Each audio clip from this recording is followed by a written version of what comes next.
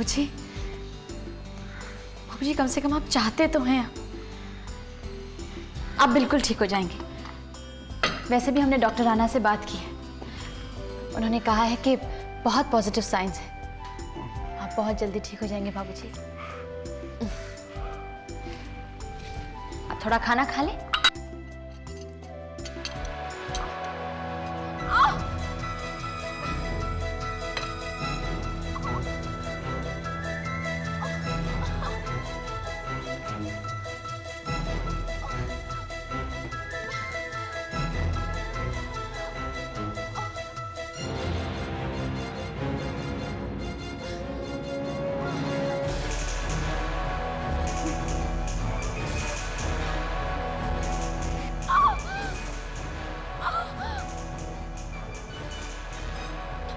बाबूजी?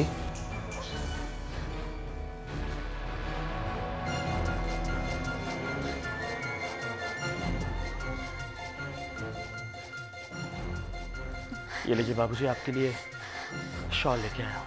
रात में बहुत ठंड हो जाती है ना? शॉल ओढ़ के जी बाबूजी। जानता हूँ बाबूजी। रो रही है ना? जानता हूँ रो रही है।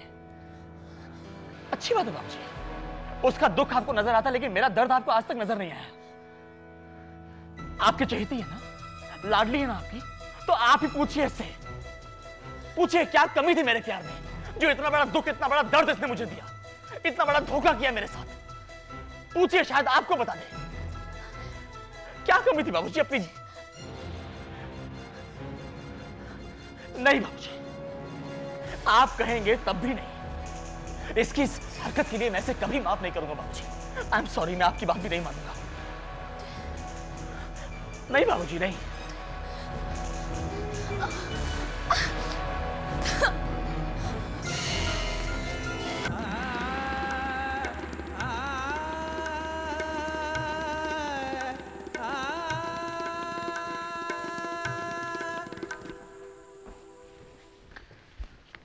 अविनाश? कुरियर आया है।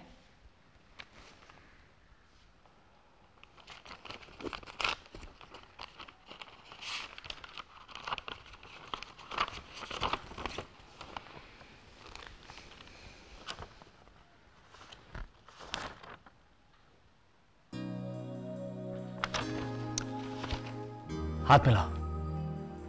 क्या हुआ? कंग्रेचुलेशन जो जो कोटेशन हमने भेजे थे वो अप्रूव हो गए। That's great. हाँ, बहुत दिनों के बाद एक अच्छी खबर सुनने को मिली है बस मालूम बहुत काम करना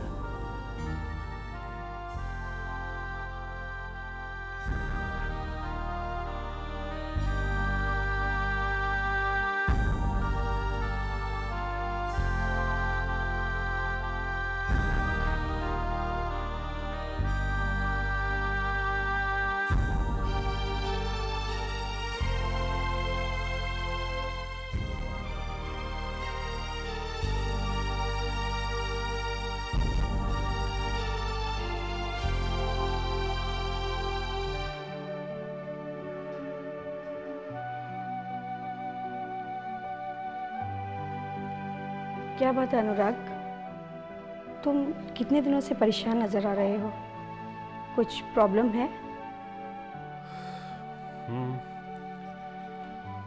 रिमझिम के फादर इन लॉ की तबीयत थोड़ी खराब है। बस।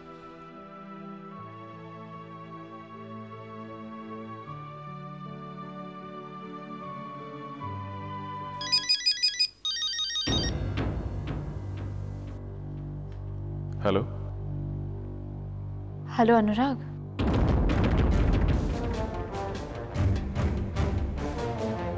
हम तुम्हें अभी फ़ोन करने ही वाले थे।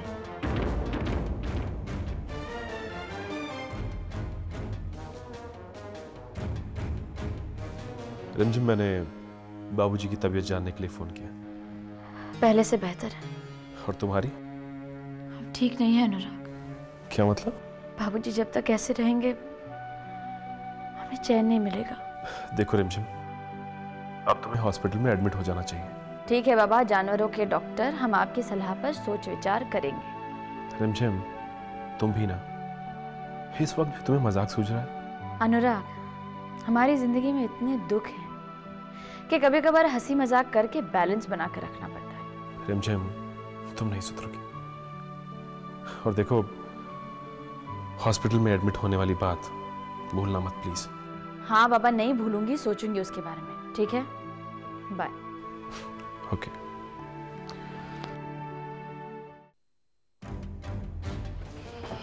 अविनाश कहाँ जा रहे हैं? तुम कौन होती मुझसे पूछने वाली? तुम्हारा मेरा रिश्ता ही क्या रह गया बाकी? तुमसे कहा था रिमझिम मैंने? कि मुझे इतना मजबूर मत करना कि मैं अपना आप को बैठू और ये घर छोड़ के चला जाऊँ।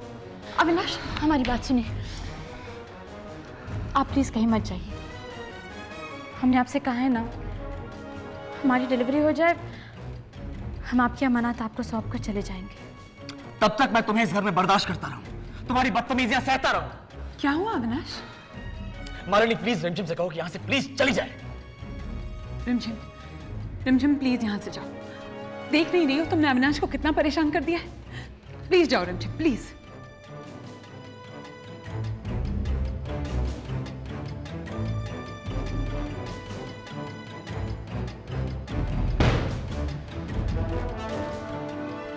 रिलैक्स प्लीज़ शांत हो जाओ ठीक हूँ मैं।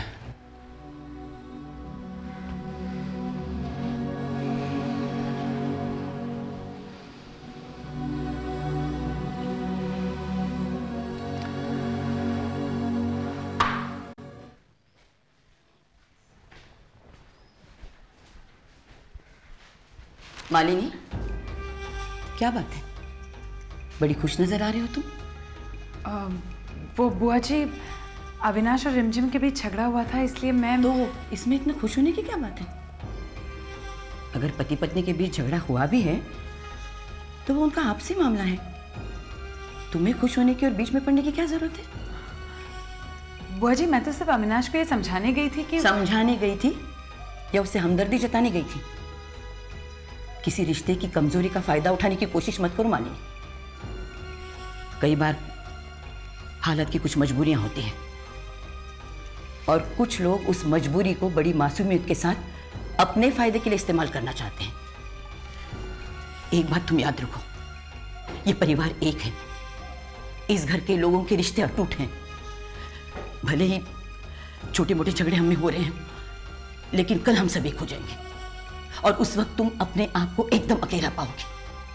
बिल्कुल अकेला।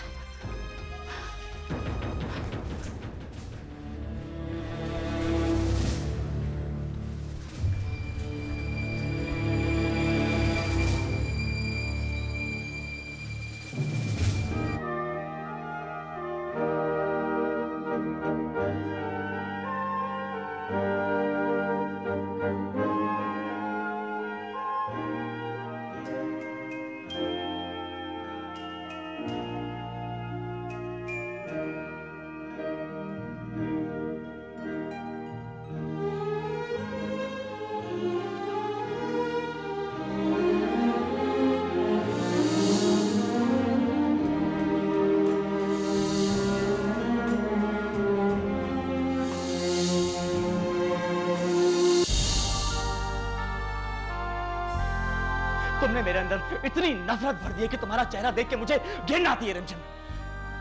और इसीलिए मैंने फैसला किया है कि आज के बाद हम इस कमरे में साथ साथ नहीं रह सकते।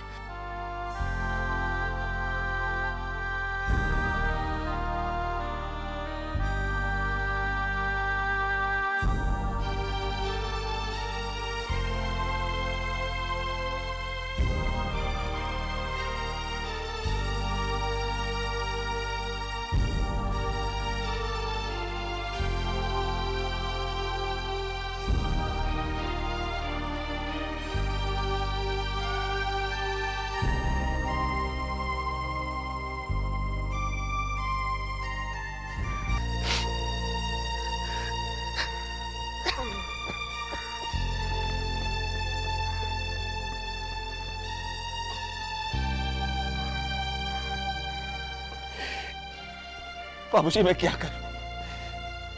बुआ कह रही थी कि रिमझिम हर रोज एक नया रास्ता ढूंढ लेती है। अपने आप को अविनाश से, इस घर से दूर धकेलने की। बाबूजी, मैं कुछ नहीं कर पा रहा हूँ। किसी को कह नहीं पा रहा हूँ कि रिमझिम हर रोज अपनी मौत की तरफ़ जा रही है। रिमझिम खुद मौत के दरवाजे पर खड़ी है और दूसरों की ज़िंदगी की चिंता कर रही है। बाबूजी, ये सच मैं सबको चीख चीख के बताना चाहता हूँ, लेकिन क्या करूँ? क्या करूँ? मैं मजबूर हूँ, बाबूजी। रिमझिम ने कसम दे रखी है। क्या करूँ मैं, बाबूजी?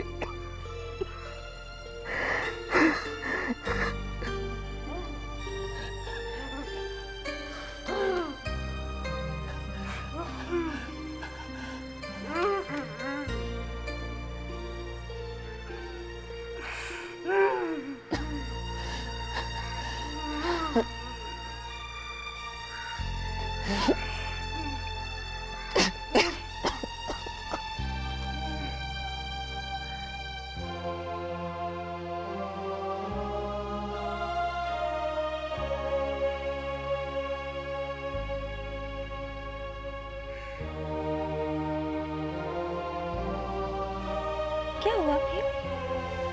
सो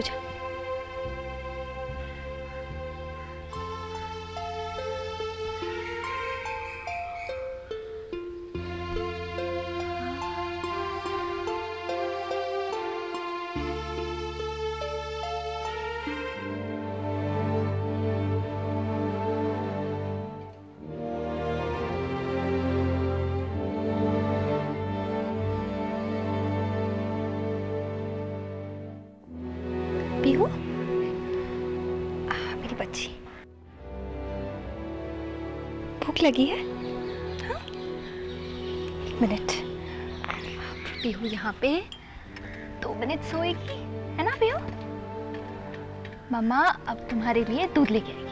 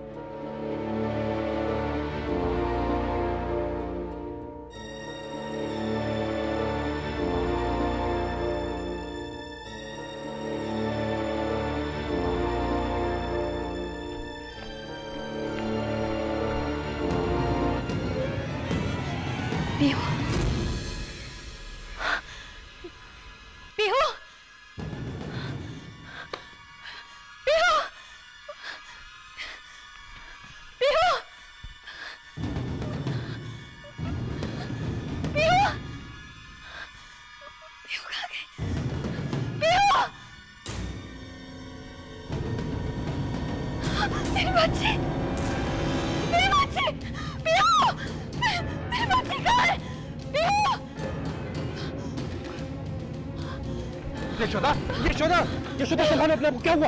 क्या हुआ? क्या बात है? पीहू? पीहू यहीं होगी घबराने की? जयंती! जल्दी लाओ। ये ये ये ये देखो ये देखो। कहाँ ले गई थी मेरी बच्ची को तुम? मैं यही थे भाभी। कुछ नहीं हुआ। यशोदा कुछ नहीं हुआ। घबराओ नहीं। जयंती जी। यशोदा को अंदर ले जाओ जी आइए भाभी। जाओ तुम यशोदा के साथ जाओ। आइए। मेरी बच्ची। आइए भाभी। ले जाओ भैया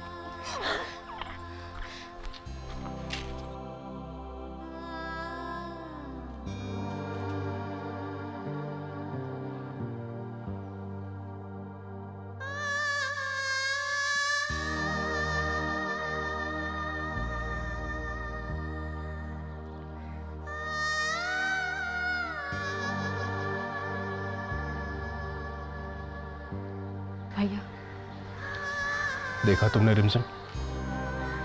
जरा सी देर के लिए पीहू यशोदा की आँखों से दूर क्या हुई? कैसे छटपटा गई हो? अगर मीनाक्षी अपना बच्चा वापस ले गई तो यशोदा की जो हालत होगी मैं मैं सोच भी नहीं सकता।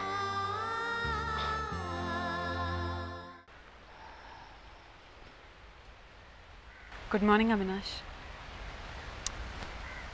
hi good morning Malini कल रात तुम बहुत परेशान थे। तुमने अपनी परेशानी भी मुझसे शेयर नहीं की। अब कैसे हो? हाँ मैं मैं ठीक हूँ मुझे क्या हुआ है? अच्छा लगा ये सुनकर। अब तुम अब तक तैयार नहीं हुए? ऑफ़िस नहीं जाना है क्या? हाँ ऑफ़िस तो जाना है। मालिनी मैं ये सोच रहा था कि ऑफ़िस मैं चला जाता और तुम यहाँ बाबूजी के पास रह के उनकी देखभाल कर लेती। अगर तुम्हें एतराज़ ना हो तो। नहीं अविनाश मुझे कोई एतराज़ नहीं है। लेकिन मैं सोच रही थी कि हैदराबाद वाली डील की फॉर्मेलिटीज़ एक बार पूरी कर दूँ फिर मैं बाबूजी को पूरा वक्त दूँगी। हाँ वो भी ठीक है। तो एक काम करो तुम तब तक बुआ जी या फिर कावेरी भाभी को बाबूजी की एक्सरसाइज के बारे में समझा दो हुँ? क्योंकि मैं नहीं चाहता कि रिमझिम बाबूजी की देखभाल करें।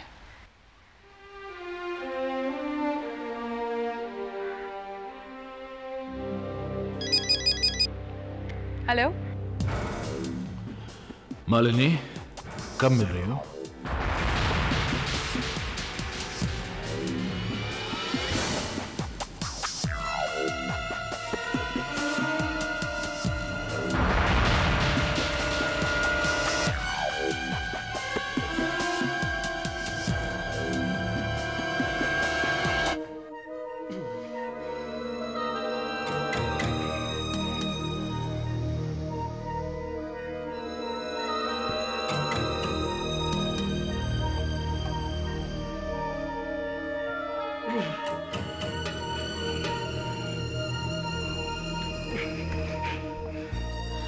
क्या कर? रहे हैं क्या कर रहे हैं आप? देखिए, आप ठीक हो जाएँगे। आपकी ट्रीटमेंट चल रही है ना? आप ठीक हो जाएँगे? इतनी जल्दी क्या है आपको? क्यों दे रहे अपने आप को इतनी तकलीफ़?